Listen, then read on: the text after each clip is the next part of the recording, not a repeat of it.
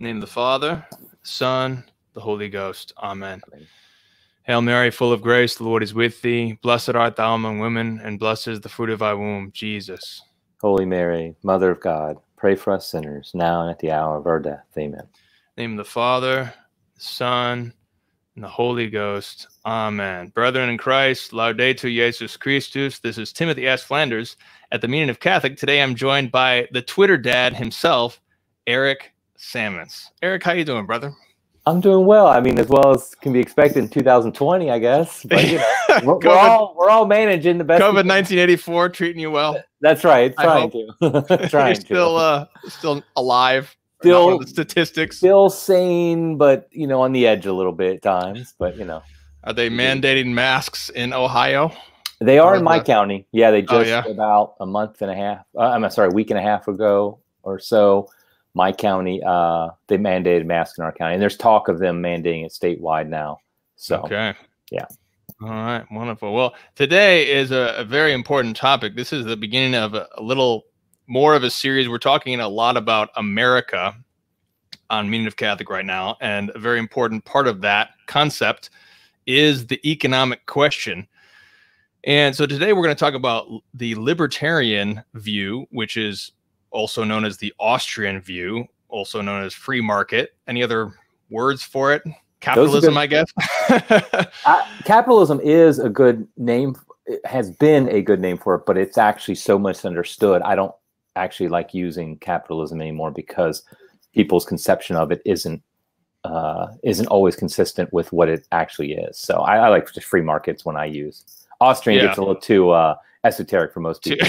yeah, and we could talk about uh, yeah, we have to talk about crony capitalism versus yes, free market too. Absolutely. Um, but so what we're going to do here is so today we're talking about this this viewpoint within a Catholic framework, Catholic point of view, and then on Friday we're going to talk about the other uh, popular view, which is also known as distributism or AKA uh, Belloc, Chesterton. I don't know what they call that other than that, but um, that's going to be Dr. Levi Russell's going to kind of present that view. Oh, great. And so today we're, we're, we're trying to get uh, the, the, we're trying to do a Thomistic, the Thomistic objection, the Thomistic analysis, which is where you try to make the best argument possible for every side of the question.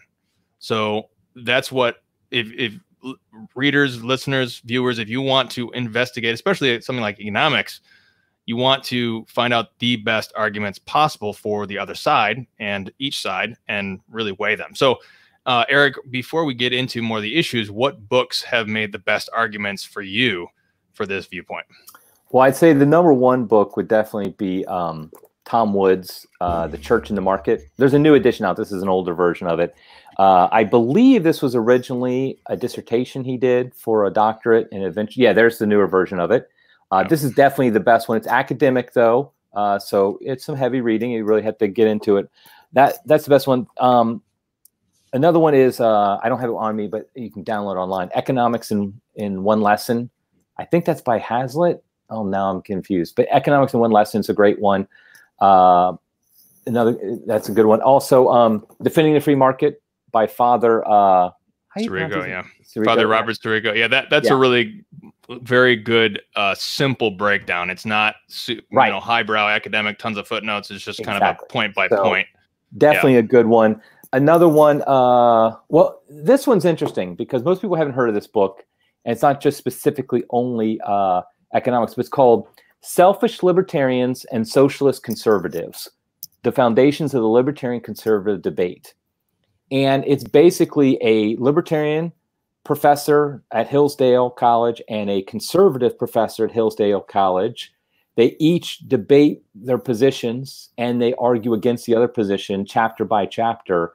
And it's a great discussion done in a very uh, uh, non polemical way, but giving their arguments. What I what's interesting about this book is is that the conservative position is argued by uh, Dr. Nathan Schlueter, who was my sponsor coming into the church my roommate in college. And so he's one of my best friends, but he takes the conservative position. Of course, I'm more on the libertarian side of the debate, but it's a great book for that. And th- it's more not just strictly economics, but just the idea. And I think it's it's nice because it that's the that's where I come from is I don't really have many discussions with uh, true leftists, liberals, uh, socialists, people like that. It's more conservatives that you're going to have the debate with uh, libertarians is, is, is, with conservatives. So, so those are ones that I, I recommend awesome. those books. Yeah.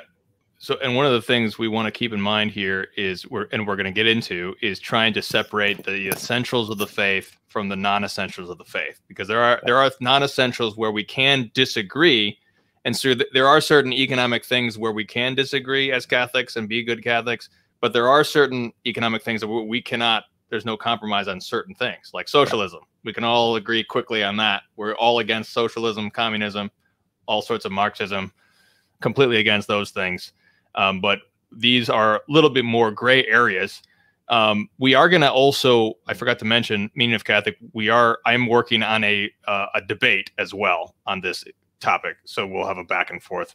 Um, so I, I asked Sam Gregg, that one of the heads of the Acton Institute, what are the best books that defend this position, and he said also Catholic Teaching in the Market Economy, which has Tom Woods and Robert Sirico and Sam Gregg on it, and also Michael Novak, Spirit of Democratic Com- Capitalism. Um, the counterpoint is provided by Ferrara. He actually goes against Woods particularly, so that's actually written against Church and the Market in particular. And then this big tome from E. Michael Jones, Barren Metal, is more of a historical approach, which tells a lot of the story. Um, so those are some great books. Like I said, if you want to know something, you have to look at all the objections and really thoroughly digest them, understand them from their own viewpoint. So, uh, without further ado, uh, Eric, let's talk about what is libertarianism. Okay, well, first, I, I want to before I answer that question, the, you named this uh, this discussion Catholic libertarianism, uh, and I would object to that first. In that, I don't think there is any such thing as Catholic libertarianism. I would say that I am a Catholic, and I hold certain opinions on what I think is the best, but not necessarily perfect political systems to advance human flourishing. And human flourishing can be defined in many ways, of course and of which I would argue that none of them are contrary to any infallible church teaching. So the reason I, I make that point first off is that many people, when they hear the word libertarianism, they almost treat it like a religion. And therefore, if it is a religion, it would be contrary to Catholicism and you can't, and they're incompatible. But what I would argue that libertarianism is, is much more a view of how political systems should be organized so that people uh, can flourish. And by flourish, I personally mean uh, in a moral way, in a way that, that advances the Catholic faith, in a way that glorifies God. So, that being said, libertarianism, I think probably the the most basic way to that I would define it would be applying what's called the non-aggression principle, which is the idea that no person can initiate violence against another person. And I would argue that that is a Christian, uh, a fundamental Christian principle. You cannot initiate violence against another person. And by initiate, that's very important that I, I say that because number one, it's not pacifism. You can use uh, violence in defense, self defense, defending your family, defending your country, whatever the case may be, but you may not initiate violence. And that's a very fundamental point because a libertarian would apply that not only to individuals, but to groups and even to governments, that a government cannot initiate violence. Now, what happens is when you start taking that to uh, its logical conclusion, you start to realize that every law, every law that's ever existed, implicitly has a threat of violence behind it. Because think about it, if the government always says, okay, here's a law. If you don't follow it, what's going to happen? Well, you, will get uh, maybe you'll get a fine. What if you don't pay the fine? You'll probably get arrested. What if you refuse arrest? Eventually, somebody's pulling a gun out on you. And so, logically, every single law has this threat of violence. And so, that's why I would say that the basic principle is laws therefore should be only in effect when they are protecting people from violence, either threatened or real or against their person or property. So as you can see, that limits government pretty radically by modern standards. And one thing that that also I want to make sure I, I make clear is the general term libertarianism has a pretty broad spectrum these days. And so there would be libertarians who would disagree with even my point that there can be a government that could enforce any laws. I and they're basically um, anarchists, anarcho-capitalists, and then there are other libertarians who, who, who call themselves libertarians, but they would probably give government more uh, authority than I than I just did. So for me, though, that's where I fall, and that's usually called like a minarchist position. I, I do believe that there is a place for government, but that it should basically, in general, be limited to protecting people from violence against them, uh, either against their person or property.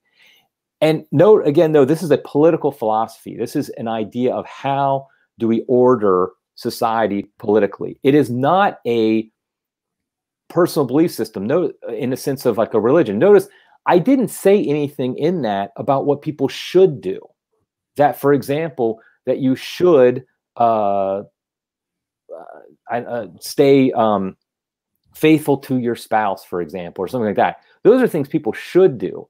But whether or not political philosophy enforces those things, that becomes the separate question. Another point I want to make is there is, of course, the Libertarian Party today. That's a third party. Uh, and obviously, by the name, it's going to be associated with libertarianism. But the Libertarian Party, its platform, isn't necessarily what every what we call small L libertarians might necessarily uh, believe in. And so, just if you go and see like the political platform for the Libertarian Party, I don't necessarily support everything on that, and most libertarians might not, or they may. It's probably closer to what most libertarians think than, for example, the Democrat or the Republican uh, platform. But let's not confuse the two. There's there's a difference between them. And then the last thing I want to say, just in kind of defining libertarianism, and I kind of uh, gave a little bit of a hint before, it's not libertinism in that be, being a libertarian means that you endorse being a libertine you can be a libertarian and strongly, strongly believe in living a Catholic moral life and how important that is. And that you might believe very strongly that you personally need to live it and other people need to live it. And so just because a libertarian might think something shouldn't be illegal doesn't mean they think it's moral. And that is part of the Catholic tradition. I mean, there's the famous, uh, pretty famous, I would say, uh, argument made by St. Thomas Aquinas himself that prostitution doesn't necessarily have to be made illegal. It's not it's not required that it's made illegal, be, even though obviously St. Thomas would say it's very immoral that the state does not necessarily have an obligation to make illegal. And of course, we all actually think this. We none of us would say that every single thing that's immoral should be illegal. If you lie to uh, a stranger, they shouldn't lock you up for that or if you you know th- there's different things you can do that we would you and I as Catholics would consider immoral, but we don't think the state should make it illegal. And so just because you uh, believe that the state should not enforce certain uh, morals does not mean that you're uh, that you that you embrace those as good and and something that is healthy. It's a matter of more a practical consideration of what is best for human society to for a government to enforce and what is best for them to allow to occur legally even though it's not something that's good for a person to do it's never good to lie for example but doesn't mean you should be arrested for it that i think that would yeah. be my overview of, okay of yeah so i my understanding is that uh i believe it was ludwig von mises i yes. can't remember his first name ludwig yeah, ludwig ludwig yeah Okay. Um, so von Mises and Rothbard, mm-hmm. the two 20th century theorists of the yes. Austrian school. Yeah, they're giants of the. and the yeah, they're basically the godfathers of this this viewpoint yes, in the 20th century. And they theorized that there are basically sort of the two commandments again uh, of uh, that which the government's supposed to do, basically preventing violence and pre- preventing theft. Those right. two things, and they they believed that if they just prevented those two things and kind of limited everything else, then everyone is that kind of your your viewpoint, Eric? That I what I would say is that. that what I would say is, and here we get into an important point. I would say those are the two primary and perhaps even only role of government. And uh, two things about that. Number one is I don't think there's a such thing as a utopian society on earth that's possible. And that's because of original sin. And so what I'm looking for is what do I think is the best political system to allow human flourishing, not the one that will prevent all sin or anything of that nature. And so because original sin is going to exist in any political system. And the best society is going to be the one in which the people are choose to be moral, that they choose that, that they're they're practicing Catholics. I mean, that's really going to have your best society. And in fact, I would even argue that if your society consists of practicing Catholics, it almost doesn't matter what political system you have because people are going to choose to do the right things. So, but I would say that this view of a very limited minimal government that protects people against violence uh, and theft those are and theft would include things like fraud and, and violence is, is can include a number of different things and we'll get into that i think later that's a that's probably the best human system to allow that and i feel like this is where this view really takes in consideration original sin and by that the fact that original sin impacts every single human being, save our Lord and our Lady, of course, including government officials. And I think this is where I really have an issue with a lot of those who are politically conservative. I mean, I'm personally conservative in how I live, but politically conservative in that once you start giving men and women authority over other men and women, you have to realize that they have more power to abuse their original sin than if they don't have that authority. And so the more limited authority they have, the less they can abuse original, you know, use original sin to abuse that authority. And so by not allowing them to uh, have authority over you, except for in a very limited situations in which they're protecting you from other people abusing uh, your your rights, your your ability to uh, live freely. I think that's going to be your best situation because we see that in history, particularly the 20th century is a great example that where in the 21st century we're seeing it as well that you have these governments with this great authority, the Soviet Union being the most explicit example, uh, Nazi Germany, places like that, they can control and they they they prevent you from living out your faith. And I'll be honest, I think we're seeing that in 2020. That you see the governor of California has shut down all churches by fiat. He has no, I mean, he just basically said, it, and he says for the common good. And now, anybody listening who is very much believes that COVID 19's a, a, ramp, a pandemic that's rampaging. I'm not gonna. I'm not trying to argue that point. I'm just saying that the fact that a single man can tell millions of people you can't go to church by just simply stating it and signing a piece of paper that's dangerous and that's not that's not a good thing and and so that's why a minimal government would not allow that. A, a, a, more a more just government would not allow that.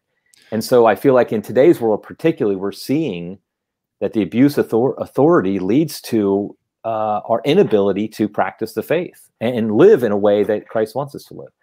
Yeah, I don't, I don't think anybody can disagree with the. I mean, I guess I guess there are pro-life Democrats out there, so not to knock you, but uh, the big government idea is is very much agreed upon at least the, the this you know the the NSA state that we have now. Uh, right. Uh, it is, and the Republicans beyond, support that too. Uh, in a lot of ways. Right. Yeah. And, and but I think that many Catholics would would I mean, especially with COVID nineteen eighty four, be objecting to the the insanity of the state at this point. here's here's a question with that because it, I think you make a good point about the original sin affecting the officials. Now, what about and you, this might get into talking about about the free market now, but what about making laws? Because the government is supposed to enforce the laws, which are supposed to be at least objective in that everyone needs to follow them, including the government. Um, does does making laws help the original sin of the populace? Yes, I think there, and I do think there are uh, certain laws that are just and good. I mean, for example, we've already talked about them: laws against violence, against uh, fraud and theft. So, for example, obviously laws against murder. That's why I mean, one of the thing I want to get out of the way is it's well known that many people call themselves libertarian believe that a woman should be able to kill her uh, child in the womb. And there's just two things. Number one is there's lots of people who call themselves libertarians who don't think that. Ron Paul, who's probably the most famous libertarian uh, in America today, he's very, very pro-life. Um, but that would be a law, a law against abortion. In my mind, is a very follows from libertarian principles that you can't commit violence against another, initiate violence. Well, if there's, I mean, if there's one thing that's initiating violence against somebody, it's it's uh, killing a child in the womb. And so, obviously, there's certain laws that I think do control the original, uh, uh, not control original sin. That's not, right, not the right word. Curb, at least. Curb, yes, yeah. and, and and prevent us from it. So I definitely, I mean, and you'll hear some people say, like libertarians, some people will say that uh, you can't legislate morality, and that's liberals say that, of course, too. But I'll hear libertarians say that sometimes, and I don't, I don't think that's true. In that there are laws, people do uh, act in conjunction with laws. Often it can curb their desires. But what I'm saying is, is that we have to find that balance between laws that are protecting us from others violating our ability to live uh, through violence, through theft, through fraud, things like that, and laws in which it's simply uh, authoritarians controlling our lives and telling us how to live in a way contrary to uh, the way we want to, but more importantly, contrary to the gospel. And so there's got to be that balance, and there has to be a line drawn somewhere. And so, as a libertarian, I would definitely draw that line as close as possible to anything that is not uh, laws would only would restrict to only things that are against violence, against uh, theft, against fraud, things of that nature. Violations against somebody else's ability to uh, you know flourish. Guess. And, and the word flourish I know is a very generic word, but I use it purposely because I do think that it can be defined in different ways, but it can be defined in a way that I think you and I would both agree with of flourishing which is living a, a Catholic life. Okay. And so let's get in because it sounds like the my understanding of the libertarian position is that the limited government is particularly so that there can be as free of a market as possible. Yes, and, and that, yes, and it, and here's another, and I we're talking about we're going to be talking about economics a lot, but the one thing people always act, you hear criticisms against libertarianism as if they're only focused on economics, on money, and human beings as economic agents only. The problem is, is that we don't understand what the word economics means, what economy means. Economics is basically the human choices we make. In fact, there's uh, one book I forgot to mention is uh, by Robert Murphy, and it's called Choice, which, of course, for us Catholics, as soon as we hear that word, we we because obviously the pro-choice movement, mm-hmm. pro-abortion movement has taken it. But this is basically a, a layman's guide to one of Mises's, like one of Mises's books, Human Action. But the point is, economics is simply the exchanges we have all the time in society. And so it might include going to the doctor and receiving medicine. That's an economic exchange. It might going to the store and buying coffee is an economic exchange, but so is working at the soup kitchen and giving uh, giving out free food to the homeless. That's an economic exchange if you understand the word economic properly. And so, what government limited government's trying to do is it's trying to allow for voluntary economic exchanges. And those voluntary economic exchanges means the person, the individual, the family even, is allowed to make these choices that are best for them as long as they're not violating the choices of uh, the free choices of others through violence, through theft, through fraud, uh, things of that nature. And so it's not a matter of libertarians are focused on money. I, in fact, I, my libertarian beliefs came to me very had very little to do with uh, like getting rich or anything of that nature. It, it, wasn't really related to that at all. It was more a matter of okay, how can people live in a way that's the most free, so they can be most free to worship God. And so, yes, when we talk about economics, a big part of that is the free market. But the free market again isn't isn't reduced to just uh, monetary exchanges. And so, therefore, the free market is something that, limit, that limited government would uh, very much support as free and voluntary exchanges as possible. Because really, that's what comes down to is the free market is simply the ability to have voluntary exchanges in society instead of having a limited group of people dictating what a large group of people the the the um, exchanges are allowed to have. Yeah, I think uh, Sirico does a good job in defending the free market of, of just talking about economic exchange, which I think everyone, whether you're libertarian or not, can agree that just being able to have an economic economic exchange will allow trading and the cooperation and sharing basically of these different goods that we have and everyone benefits from that. Just just on on a without talking about the government or these other issues i think it's it's easy i think for when we look at sort of the basics of an economic exchange everybody has to have economic exchanges to live. Every right. family has to do economic exchanges. You have to do that. It's a part of life. And the more free you are to actually do that freely to provide for your own needs the more people are able to benefit at least just taking away all these other issues for one moment and just sort of looking at economic exchange itself and realizing that you do need to do that and it is a good thing.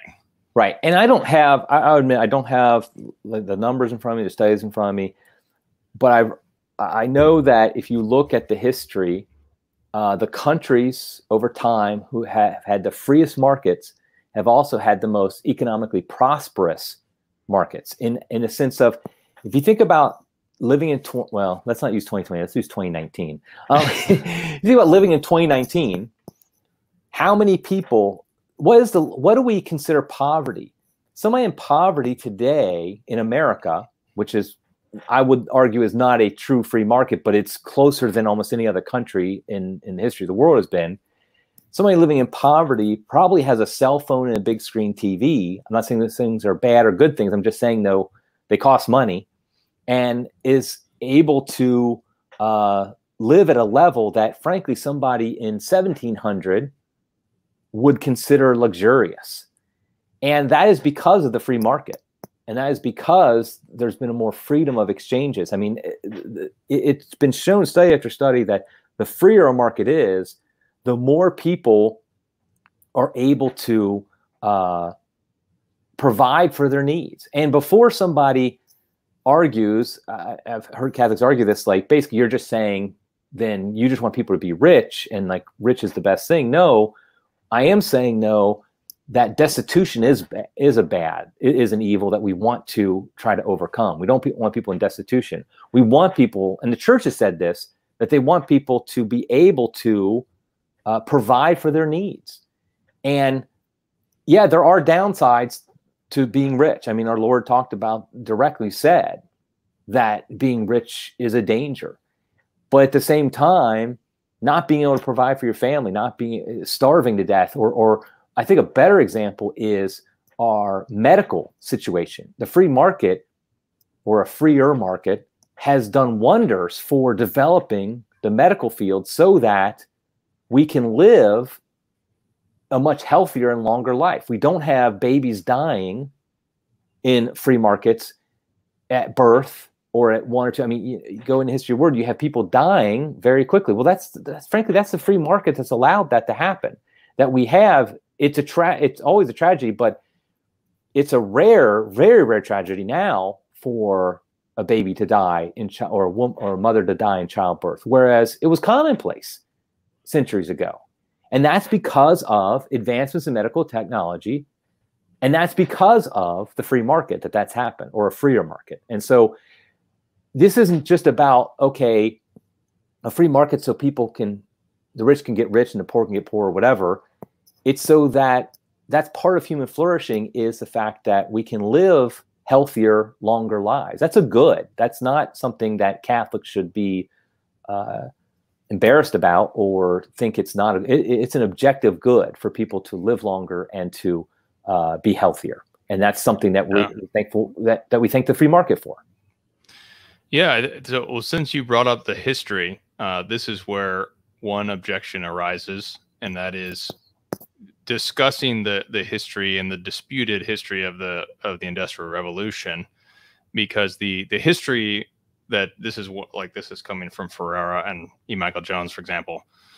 So the history goes back to really the Reformation when the the masses of amounts of church property was taken away from it was basically the beginning of big government, which you, I mean you'll agree with that because yeah. before there was it was a great deal of subsidiarity. It was far more limited monarchy you know there were these towns and villages and uh, as as we'll all will all admit there was a great deal of famine and starvation and disease and child mortality and all these difficulties but there was also burgeoning science since Albert the Great back in the 1200s, and science was developing still at that point.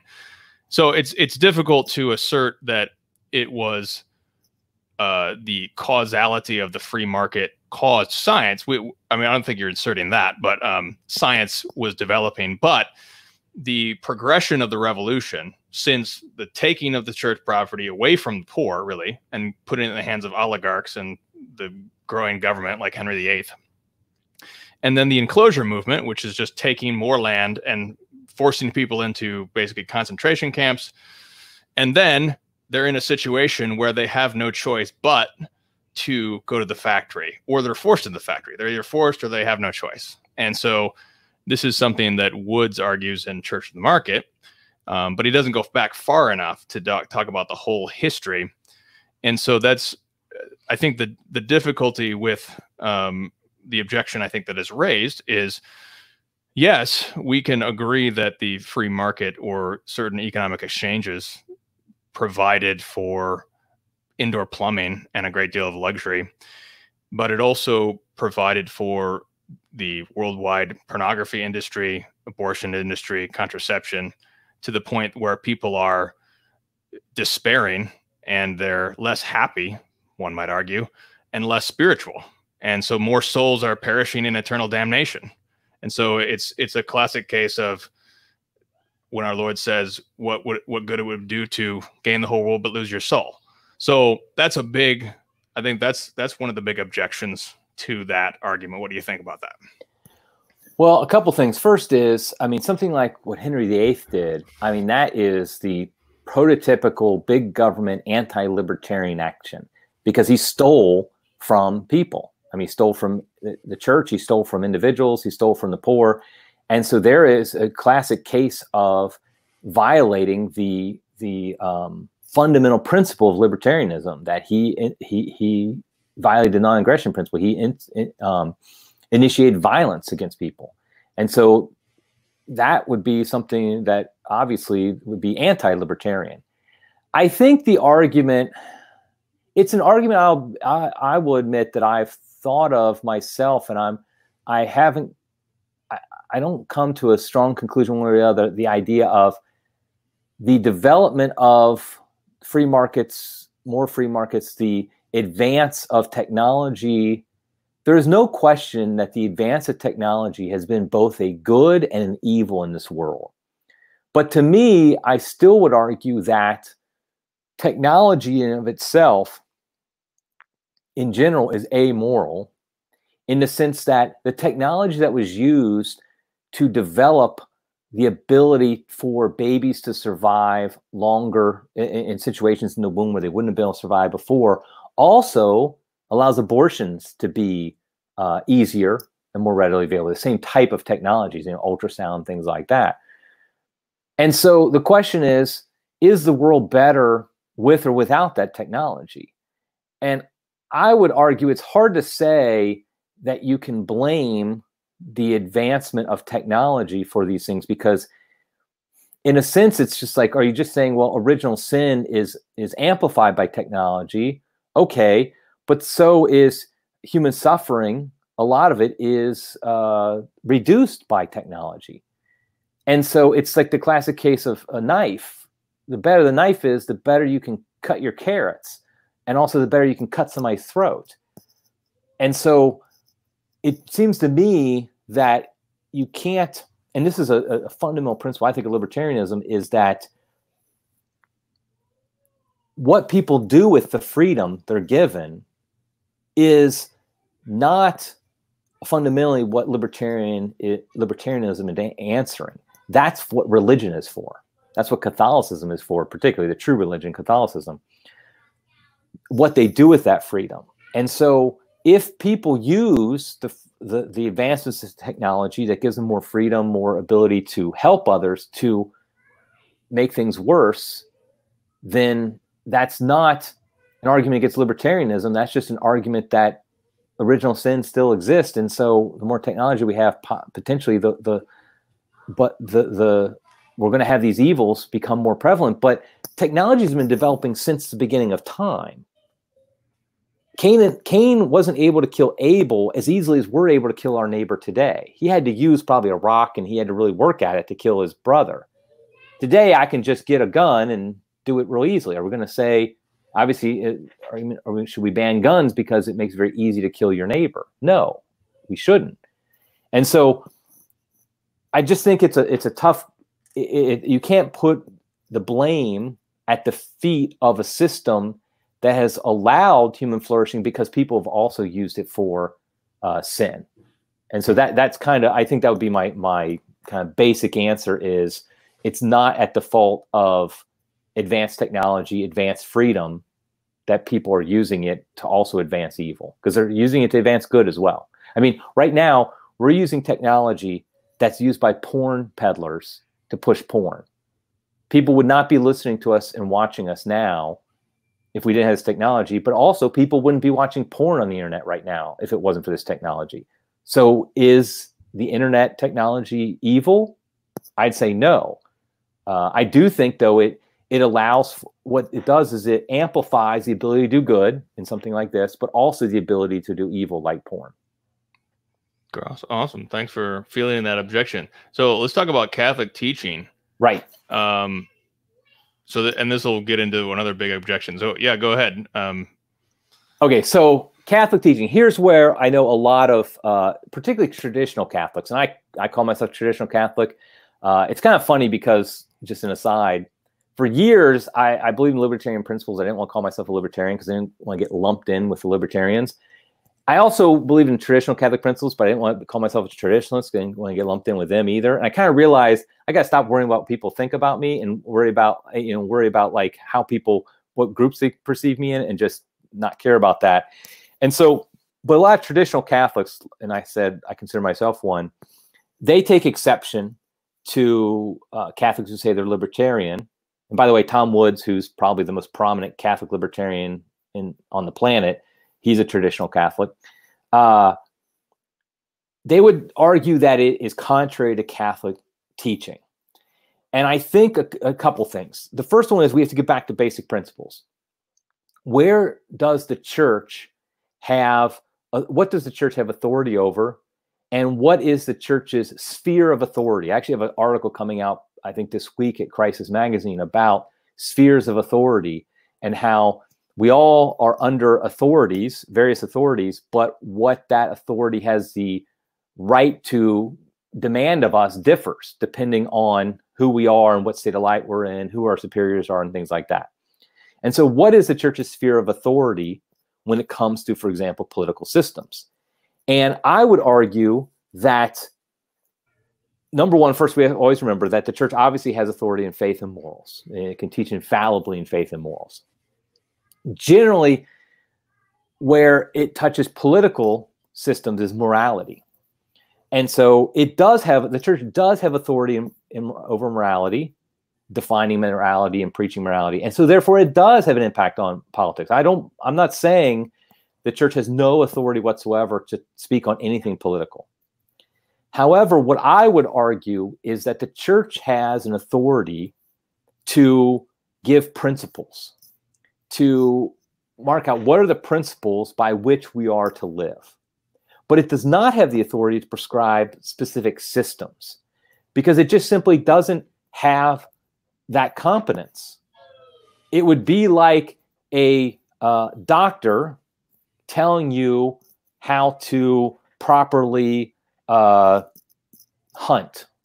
I mean, maybe he's a good hunter, maybe he's not. But the point is, as a doctor, he has no authority to tell you how to go out and hunt properly, hunt deer or whatever. And so a pope may at some point say he thinks system A is the best for principle B.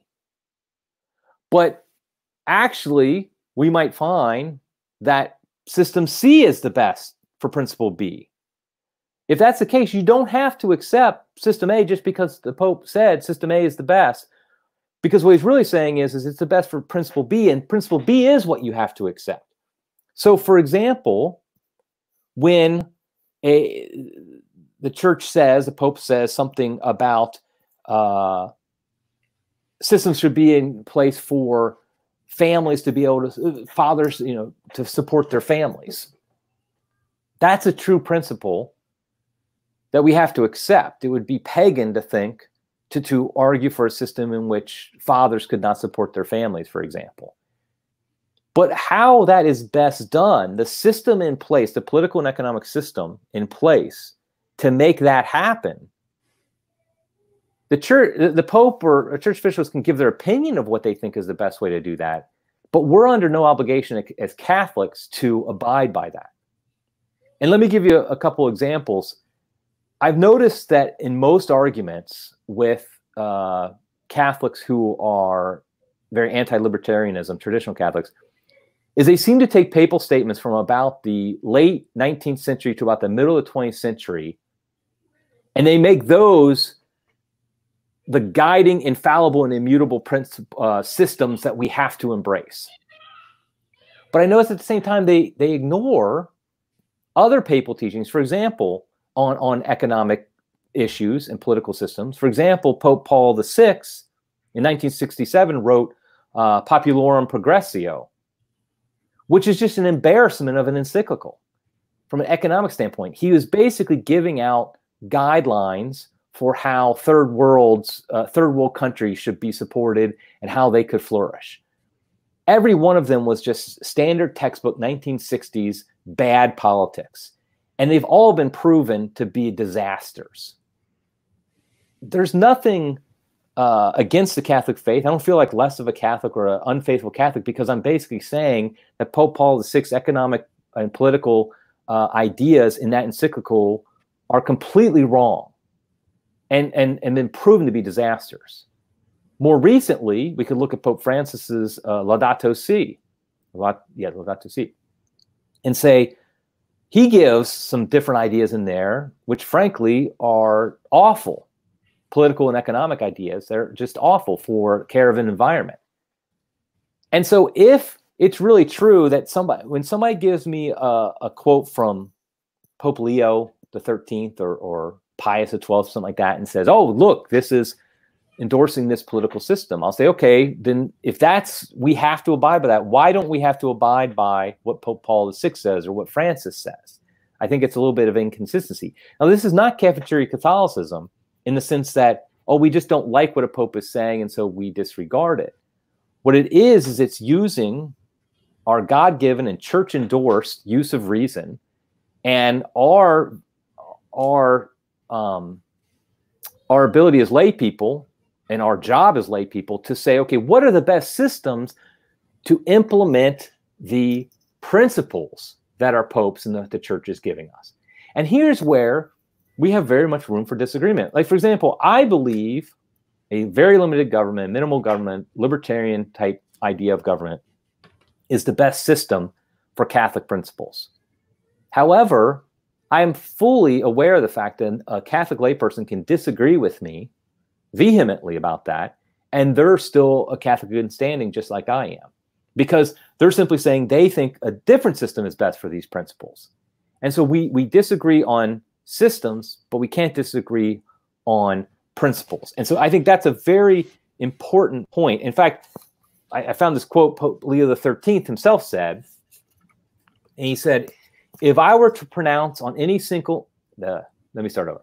If I were to pronounce on any single matter of a prevailing economic problem, I should be interfering with the freedom of men to work out their own affairs. Certain cases must be solved in the domain of facts, case by case as they occur. Men must realize indeed those things, the principles of which have been placed beyond dispute. These things one must lead to the solution of time and experience. The fact is, is over time, we have found that certain systems work better than others. We know, for example, that communism doesn't work. It's a disaster, both because it actually violates many of the principles of Catholicism, but also just practically, it doesn't work. We know that now. Somebody in, let's say, in, in Marx himself, for example, or somebody in the 1850s might have said, Oh, I think this system might be the best one for Catholic principles. And they might have honestly believed that. But in 2020, we know that's not the case. And so, in the same way, if a pope of the 19th century, for example, says, I think this system is the best to implement this principle, we're free to say today, no, we found that that system actually isn't the best for that principle. We agree with your principle, Holy Father, but we don't agree with, with the system. And so that's where I really think the, the, the disagreement can come in is, okay, what's the best systems in place? And that's all a libertarian is arguing for is systems not principles of uh, of Catholic teaching. Yeah, I think I think that that's a very good point. In fact, I was just going to bring up that very quotation that you read. Okay. So that's from Catherine Burton, Leo the Thirteenth, the first modern pope, page one seventy one. He also references John Paul II, Centesimus Anno 3 and 43, and Quadragesimo Anno 42, in which Pius XI says, there are matters of technique for which she, the church, is neither suitably equipped nor endowed by office. Right. And so I it is very important that you bring up because the laity do rule. We we are in this area. It, yeah, we we are the ones who uh, conduct just wars. For example, I mean, the church may pronounce in certain cases this is a just war, but we do actually wage war. The priests right. do not pick up swords. They're not. Uh, Saint Thomas says they should not do bloodshed, but we, the laity, should in certain cases, of course, and also ruling uh, and making out the system. So the the exact intricacies of the system, uh, the church does say again and again in these quotations that there is a certain amount of the systems. Uh, now, on the other hand, because I, I think I like the the term you're using, system, because that's I think I think that's where it really accords with what you're saying. But there's also the um, there is also a critique from the same encyclicals. This is from Pius the Eleventh, Ubi Arcano Dei 61, and he says many believe in or claim that they believe and hold fast to the church doctrine on such questions on social authority. And he mentions then Leo the Thirteenth, Pius the Tenth, Benedict the Fifteenth, and he says that there are there are those who rebel against them, and says he says quote, there is a species of moral, legal, and social modernism, which we condemn no less decidedly than we condemn theological modernism. And Ferrara also brings up there's a quote where Pius X sort of says the same thing about rerum novarum in particular. Um, because I think when it becomes the difficulty with when we i think I, I i think i like the term system but then when we talk about morals and this is where it gets difficult because mises and rothbard both sort of assert that the market in some sense is sort of amoral. It's sort of a, a group of human choices which the sum of which is sort of an amoral thing. Whereas bef- like a, a, an individual human choice is a moral action it's it's morally good, bad, or neutral, whatever. And the church can pronounce on that and can say that more that is a moral. They can church can have a moral say in that. But the the the claim of the Austrians, as I understand it, is that when you add all those things up, the sum of those is an amoral thing, and now the church cannot pronounce a judgment on that. To me, that that doesn't that strikes me as a philosophical error because you can't say two plus two equals not four; it equals you know something different and something of the, of a different substance than that. So I think the difficulty happens when the church is saying like in these other quotations i'm saying they're saying well there are certain morals there are certain parts of economy that are still moral questions which which the church says we still can pronounce on. So that's that's a bit that's the objection. And i think i would i would argue that the market is amoral but i would un, i would make sure we understand it properly what that means is is that the ability to make choices in a free market that ability is amoral. What we do with it, the actual choices we make, are either moral or immoral. And to go back to the example I gave before, somebody watching this this uh, video cast right now, that is uh, it's a great moral choice. But no, it's it's not. It's obviously not immoral, and it's it's moral in the sense that they're trying to learn more about what the church teaches and what uh, how to help people, things like that. But if another person's on another video site watching porn using the exact same technology that the market has given them, they are making an immoral choice that will uh, harm their soul eternally, potentially. And so, in that sense, the internet, for example, is amoral.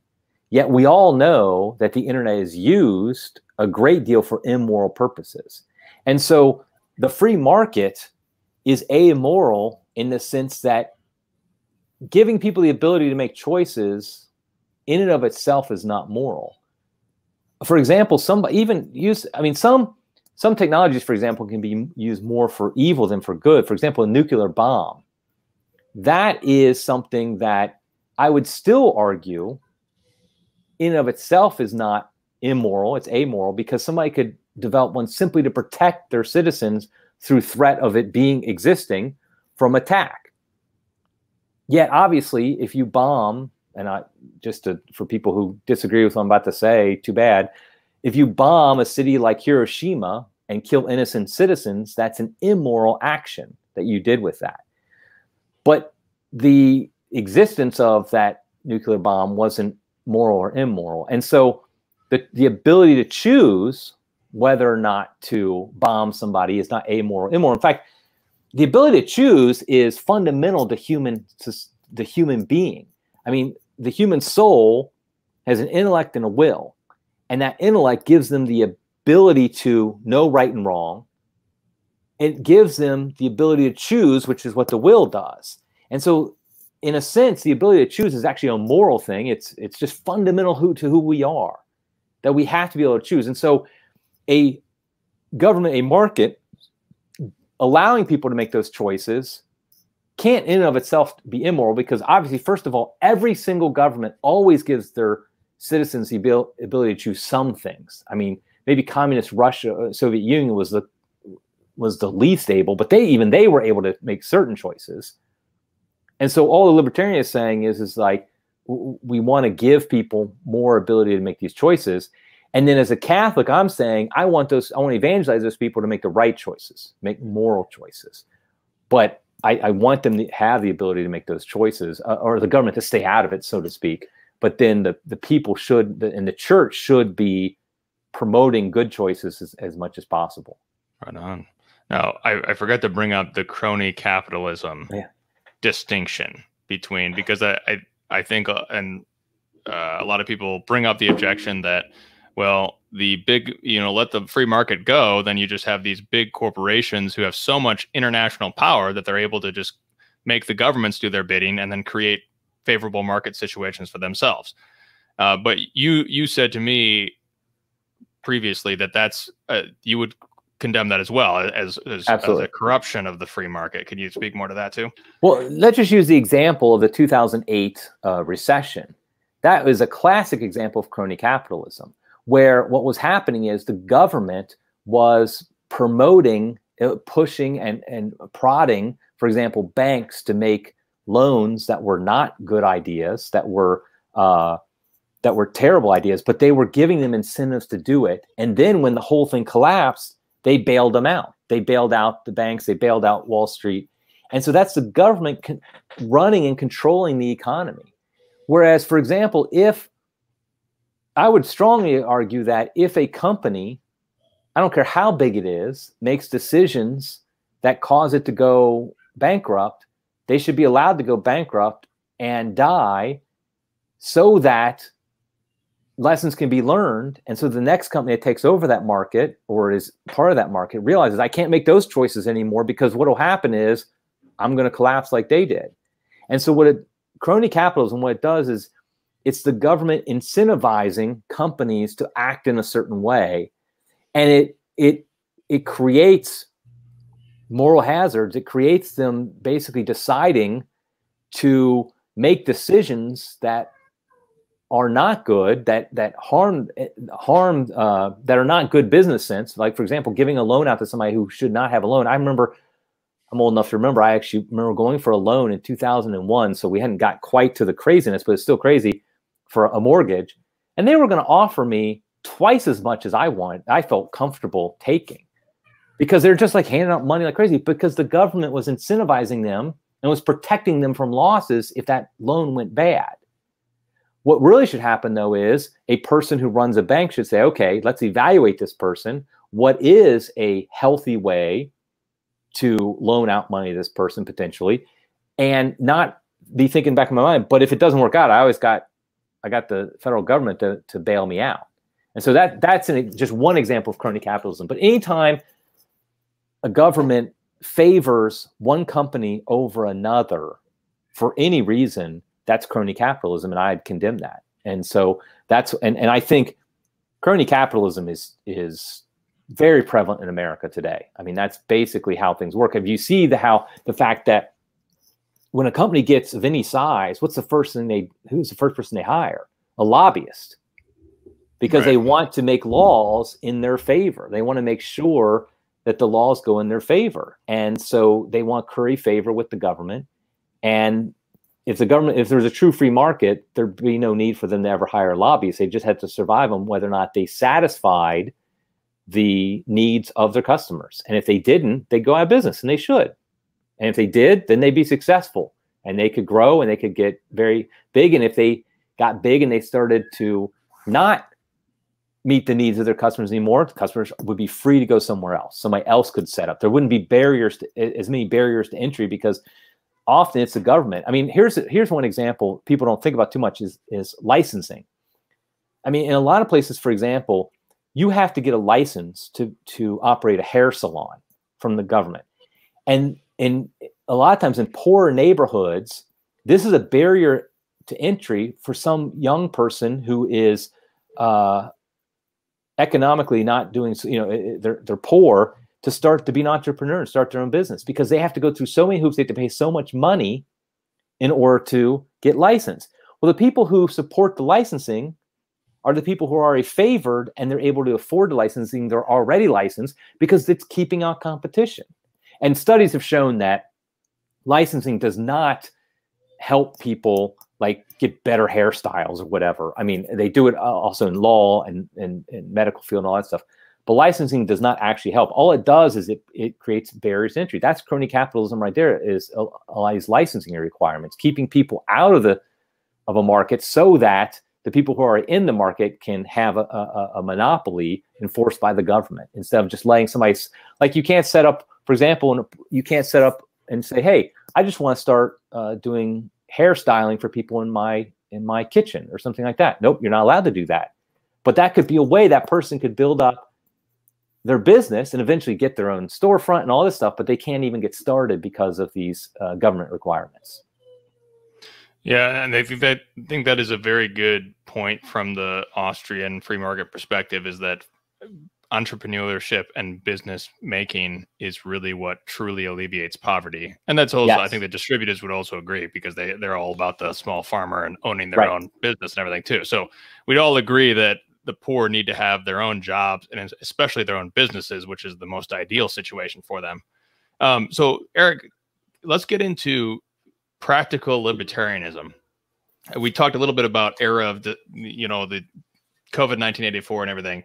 Um, but tell us more about what eh, have we already explained what you mean by Well, a lo- practical? a lot of it we have, but what I, I just want to mention that a lot of these arguments that I see between libertarians and and some people who believe it's against Catholic social teaching or they're very much against maybe Catholic encyclicals of the 19th and early 20th century, I feel like that's a nice discussion maybe to have in the ivory tower, but what year are we living in? The fact is, we are living in an era in which government is giving itself more and more power, and these are secular and anti Christian governments that are doing it. And so, if nothing else, I feel like every Catholic should at least be on the side of libertarians when it comes to most practical matters. Even if you don't embrace libertarianism as a principle of uh, how government should run, at least recognize that we're your ally in today in probably about 80 to 90% of things subsidiarity. Because exactly i mean that's a, that's a primary reason right there. We we in my state for example ohio our government since our, our governor i should say since the middle of march and is happening in every state just about he just creates mandates every you know every week he creates a new mandate we have to follow and there's zero checks and balances on him.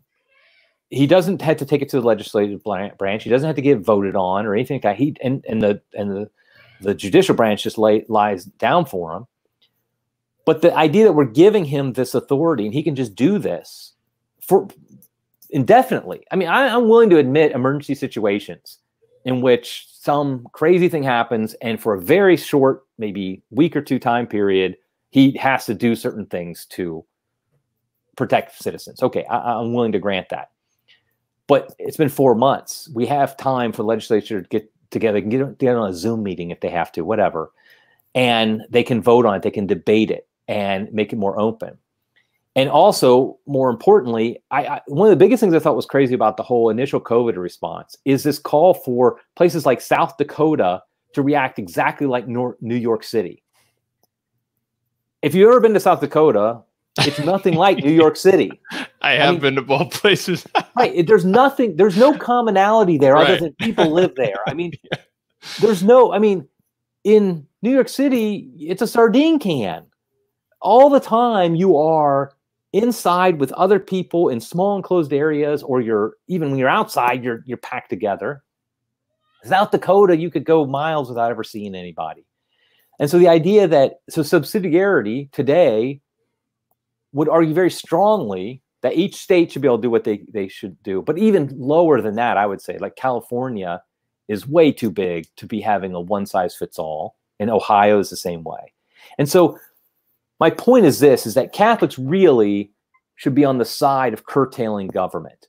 The actual battles we are facing today isn't whether or not, I mean, isn't whether or not contraception, for example, should be illegal. Because I'm sorry, that's just not a debate today that's that has anything to do with reality. And so what we should really be thinking of is we should make sure that governments aren't able to shut down churches just because they claim it's for the common good. I mean, if there's one word that's misused by Catholics when it comes to Catholic social teaching, it's that phrase, the common good.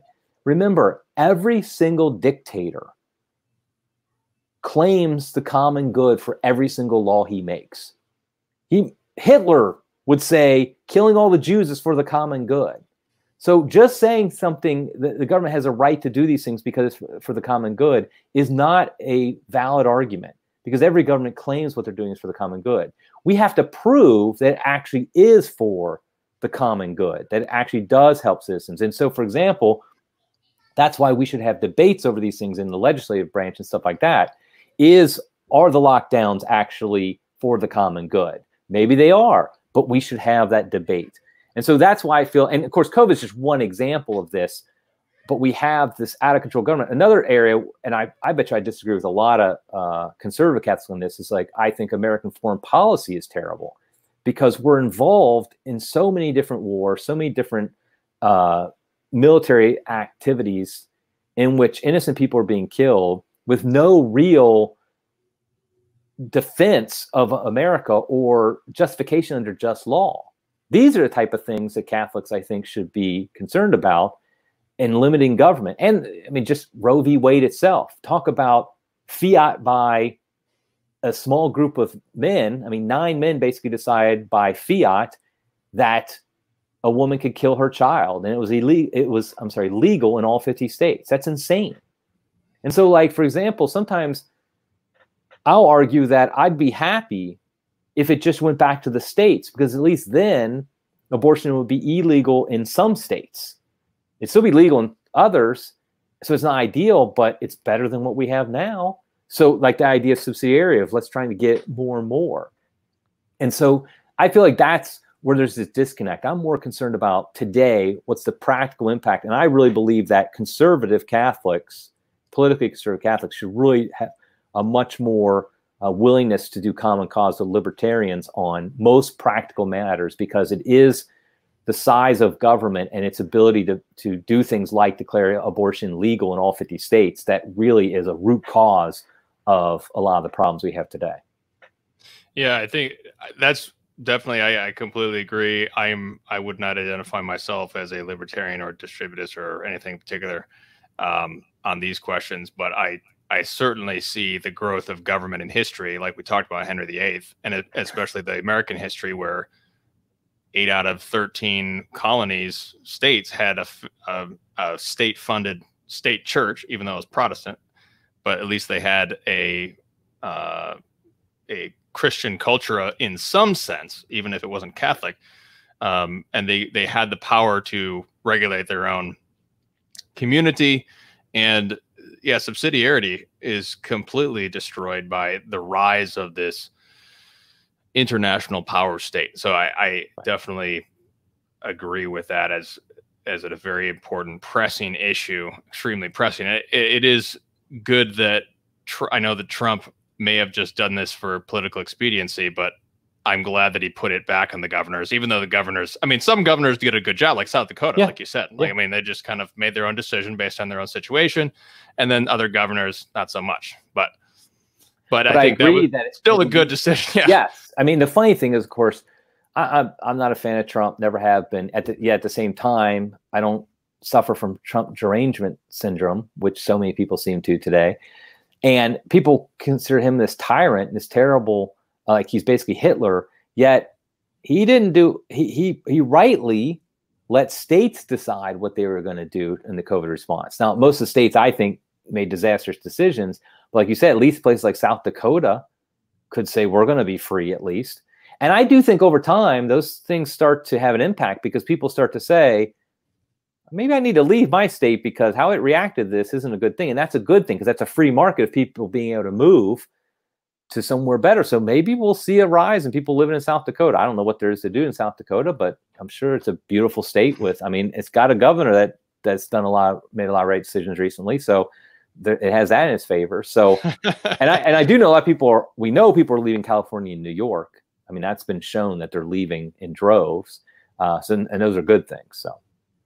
Yeah, absolutely. I think, uh, the biggest question that I see coming out of the chat is the, the issue of pornography. Eh, yes. Um, because I think that it's difficult. I one one one of the chat, uh, one, one somebody in the live chat said, I, I, really agree with Eric, but how can a Christian nation ever allow the legalization of pornography? One could argue, for example, based on libertarian principles, that pornography is violence against women right. because it's it's really violating women in particular and it's violating the marriage bed and the conjugal act and matrimony's sacred sacrament. So one could argue that it's violent. So I, would, think go ahead. Okay, I will say that most libertarians, I would say, uh, the majority of libertarians, at least that I know and I've I've come into contact with, they would argue that uh, there's no reason that pornography should not be legal. Now, my position would be that first of all, there's a couple of different considerations. One is obviously anything, most pornography is frankly uh, forced. Uh, the, the, the production of it involves uh, sex trafficking, involves women who are not really given a free choice to decide to do it. And so right there, that's that's violating libertarian principles. And so just that alone is something I think would be it'd be very libertarian to say that should be that should be illegal, obviously, because these people are being forced to do things. Obviously, child pornography would be a case that. And by the way, just a, a quick aside, there is I do believe a libertarian, and I at least believe this that people, children, do not have the right to make free choices unabashedly. A six-year-old shouldn't isn't given some I think maybe it was Rothbard went a little crazy on this because he kind of felt like even as I'm, I don't want to disparage Rothbard if he wasn't the one who said it. Some libertarian thinker I thought was crazy on this because it was almost like a six year old should be able to do whatever they want. No, absolutely not, because they don't have the ability to make. They don't have the free will and the ability to make the choices like adults do. And so, yeah, there should be restrictions on that. So, obviously, a child, even if a 14 year old girl, for example, theoretically said, Yes, I want to be involved in pornography, that could still be illegal because she doesn't have the ability to make that choice. Now, as far as the distribution of it, let's say, let's give the example of the, the theoretical example of a woman who freely chooses to be involved in pornography and a man who freely chooses to uh, consume that pornography. Another issue I would say is, and this is where the drug issue comes up too, because that's a big one with libertarians is drugs, is the impact of addiction and whether or not people are really making a free choice, especially after they have gotten involved in pornography. I mean, everybody who knows anything about pornography knows it is clinically addictive.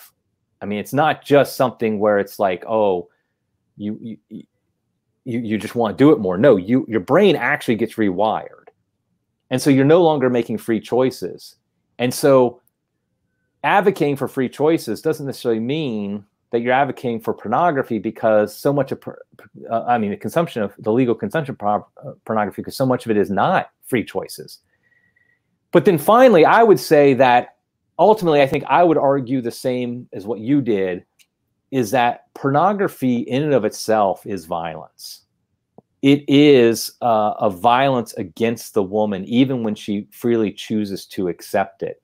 And so I personally would not have a problem with a, even as a libertarian and still consider myself a libertarian, with a state that just said pornography was illegal. Because I feel like it would restrict a violent action, uh, an action that is a violence against a person. Because even a woman who chooses to be involved in pornography, they're, they're having she's having violence committed against her ultimately. Now, so, would you say would you say the Sen Owen Gagliardo says this sort of contraceptive is that a, is that a morally neutral technology? That's sort of a. Uh, would you also consider that to be violence as well? I would not. Uh, I mean, I think it depends on the type of contraceptive method. Uh, most contraception, I mean, the, the, the, purpose of them is to prevent conception, so therefore that's an immoral act.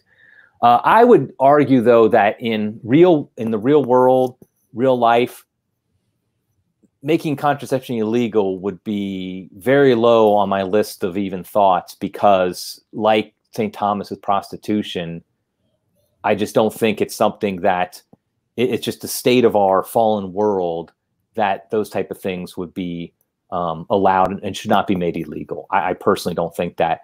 Obviously, I would think the church should condemn it. Uh, Catholics should not practice it. Catholics should do everything they can to show people why the use of contraception is immoral. But I think that's one of those examples where I do think it's immoral. I think it, and I think it's harmful for the soul. Obviously, somebody who uses contraception knowingly and willingly, uh, that's a mortal sin that can lead them to hell but I don't necessarily think the state should be involved in uh, making that illegal. Uh, right. I, sure. I, don't think I don't think that's quite the violence that I would consider um, somebody like something like pornography to be. Yeah, Sean Morrissey brings up Rothbard and Mises. They're both agnostic Jews, and they mock Christianity. And like you said, they promote things like gay marriage or um, I don't know if both of them promoted abor- abortion or not, but they do. I know. I know Rothbard. Right. I know Rothbard himself. Uh, in one of his, uh, it's a great book in so many ways. He argues that abortion should be legal, uh, and he has a very strange argument for it. So yes, I I, I yeah, don't know so, about Mises, but I right. so I, I think that does. one thing that gives it should give anybody pause is if you have a non-Christian, especially a Jew who explicitly denies Jesus Christ, not just sort of a pagan who doesn't know anything about Jesus Christ, but you have a Jew who denies Jesus Christ or is just an atheist and then mocks Christianity, does that not bode well for their darkened intellect to understand these economic laws that they're asserting? Does that give you pause? It doesn't, honestly, because it wouldn't give me any more pause than if I found out that some uh, great math equation had been solved by an agnostic Jew or somebody who is antithetical to Christianity. Because I think what it is is it's they're simply observing how people act in the world, and I don't think you need to be Catholic to observe how people act. They're not making a in their economic analysis. They're not making a uh, argument for or against that action, whether or not it should be more, it is more or not more. They're just simply saying this is how people act. People make choices based upon the uh, their their own self good. I mean, that that's something we all know. That, for example, we make choices that we think are good, and we value some things more than others. That the rational human being, for example, values one hundred dollars more than he values ninety dollars. It doesn't take a Catholic to argue for that to to prove that and so i have absolutely no problem with uh, people come with economic uh, understand uh, explain i should say economic laws i would say economic laws are just simply how it's like the laws of physics it's just how things are and they're simply explaining how things are and then we have to develop systems that take in consideration those economic laws and so just like the person who designs the airplane is taking consideration the laws of gravity when he designs his airplane. If he doesn't really understand the laws of gravity, his airplane isn't going to work too well.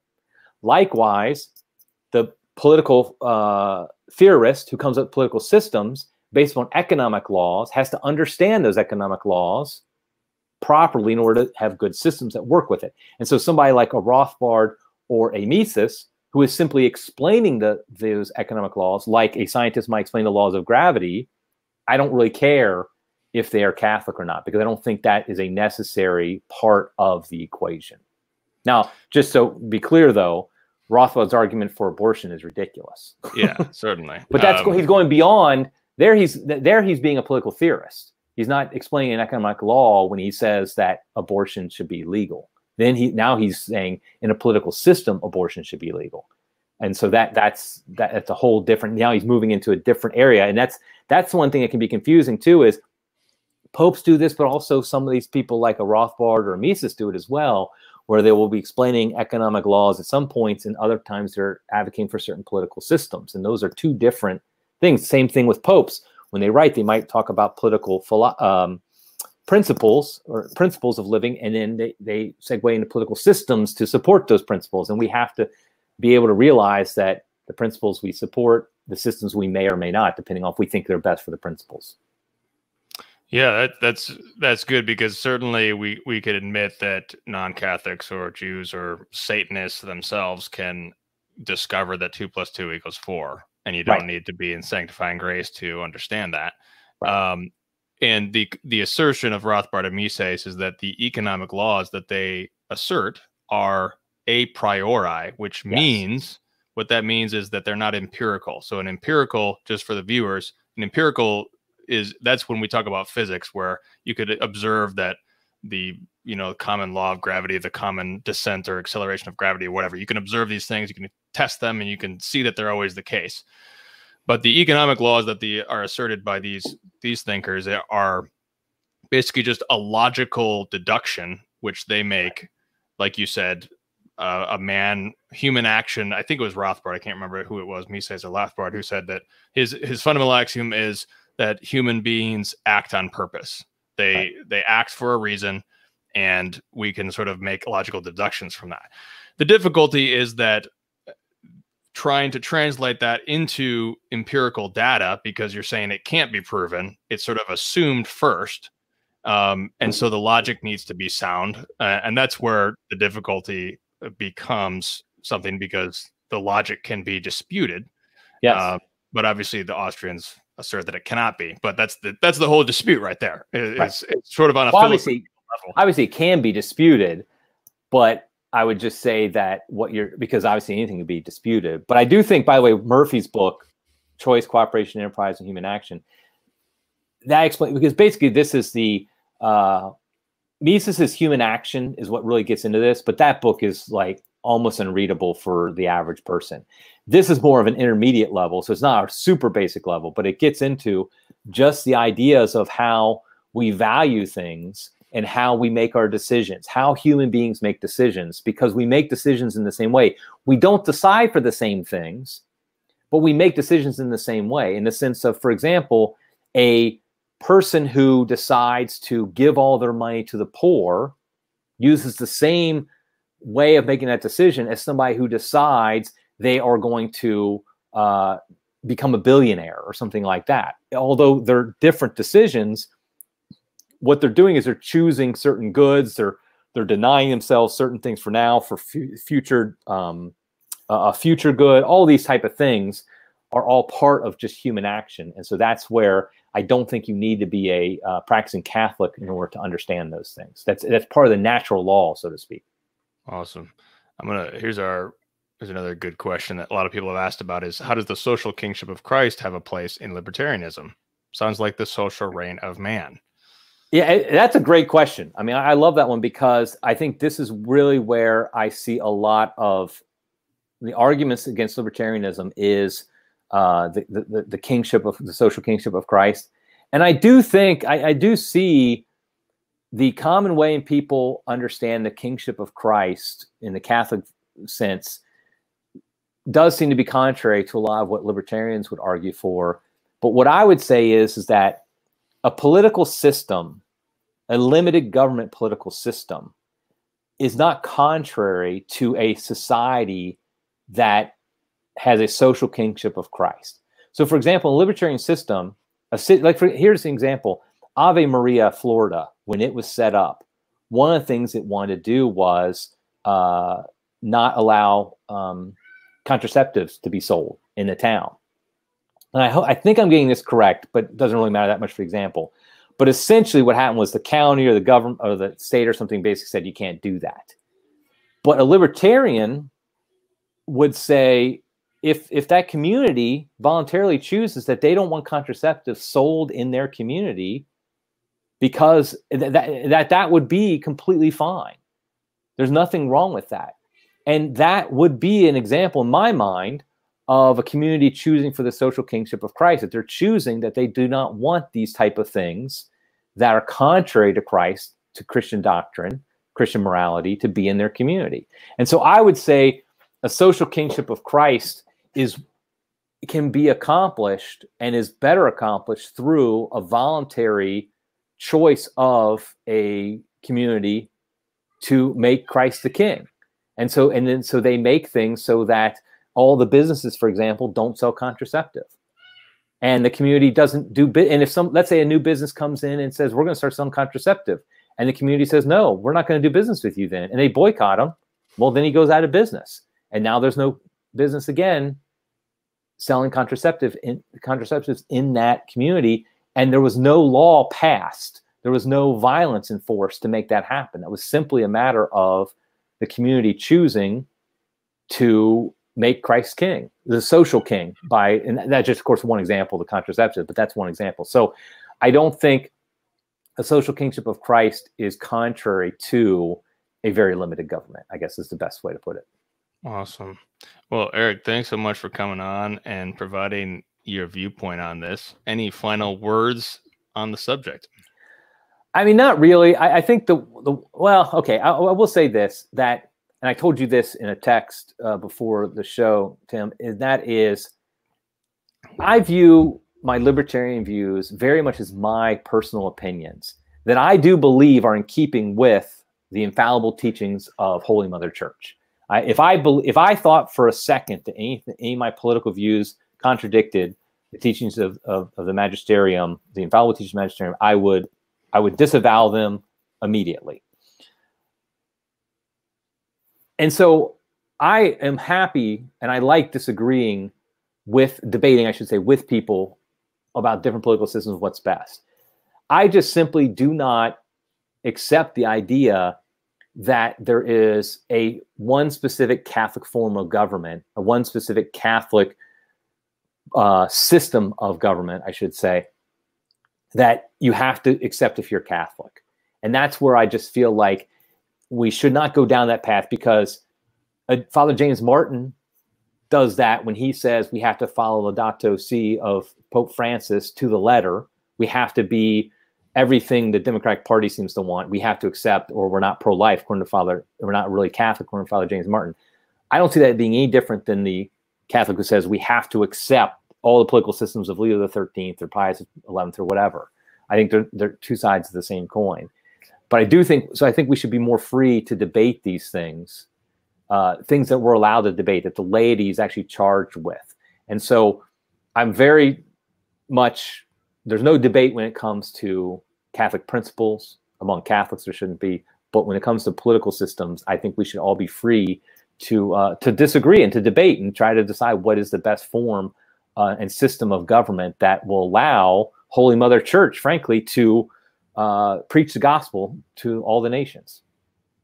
Absolutely, yeah. So we'll continue to talk on the show about where is that where is the the gray area because many would argue that your your position is not in the gray area it's right. in the forbidden area but others would say well it's still the gray area so it's it's we got the gray areas debated as to how much gray there even is where we can right. even yeah. disagree uh, so i would say the gray area is a lot bigger than a lot of people think right right definitely. I, I, think that's something that comes with age and experience sometimes. A lot of yeah. gray i mean I, I know that I, yeah. when i was 15 everything was black and white but, absolutely yes uh, i could see a lot more gray in a lot of things but and i was always right on everything when i was oh yeah.